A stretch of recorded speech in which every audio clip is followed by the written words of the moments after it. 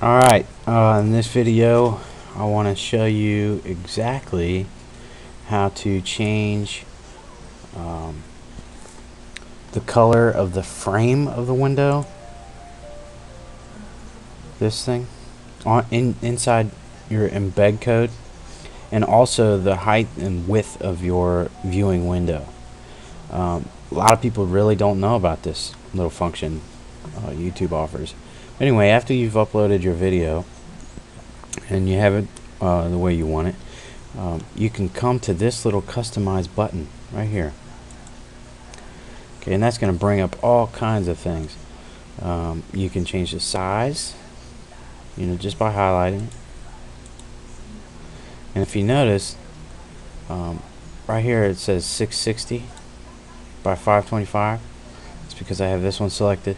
And if you select this one, and go up there those numbers have changed. Okay? So all you have to do is change those highlight the color you want. Um, you, you could show these or, or enable these different functions if you like.